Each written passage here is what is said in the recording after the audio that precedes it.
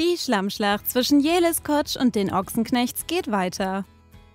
Obwohl die ehemalige Bachelor-Kandidatin und der Schauspieler Jimmy Blue 2021 ein gemeinsames Kind erwarten, gibt das Paar wenige Wochen vor der Entbindung im September seine Trennung bekannt. Auch nach der Geburt ihrer Tochter Snow Elani kehrt bei dem einstigen Traumpaar kein Frieden ein. Im Gegenteil.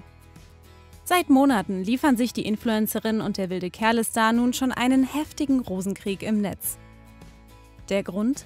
Angeblich interessieren sich der 30-Jährige und seine Familie überhaupt nicht für die Kleine.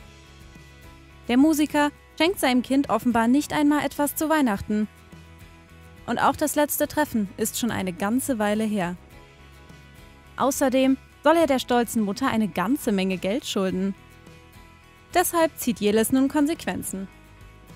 Für sie steht fest, sie will bei Snows erster Geburtstagsfeier nur einen kleinen Teil des Ochsenknecht-Clans dabei haben. Im Netz verriet die Hannoveranerin nun, dass sie sich eine Party mit Disney-Motto für ihren Nachwuchs wünscht.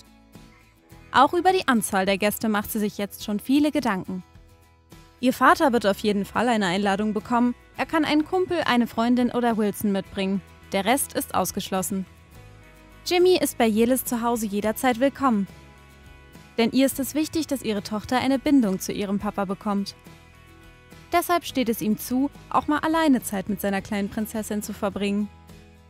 Wenn sie alt genug ist und ich weiß, dass er gut für sie sorgt, dann auf jeden Fall. Aber warum will die 28-jährige Natascha Cheyenne und Co. eigentlich nicht zu Snows Geburtstag einladen? Weil sich keiner für sie interessiert. Keiner fragt mal nach Fotos oder wie es ihr geht. Wir haben keinen Kontakt. Also warum sollte ich im engen Kreis eine unangenehme Situation schaffen?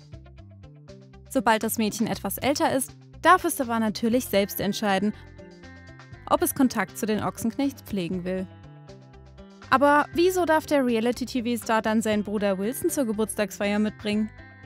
Wir haben zwar keinen Kontakt, aber er hat sich nie eingemischt, beziehungsweise von ihm habe ich nie etwas mitbekommen.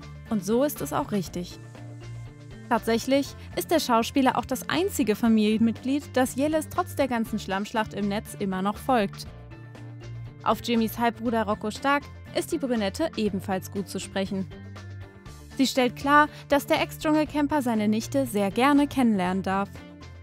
Auch einem Treffen mit seiner Tochter Amelia, die er aus seiner einstigen Beziehung mit Kim Gloss hat, steht nichts im Wege. Bis Snows große Geburtstagsparty endlich stattfindet, dauert es aber noch eine ganze Weile. Und wen Jeles dann tatsächlich einlädt, kann sich in den kommenden Monaten ja auch noch ändern.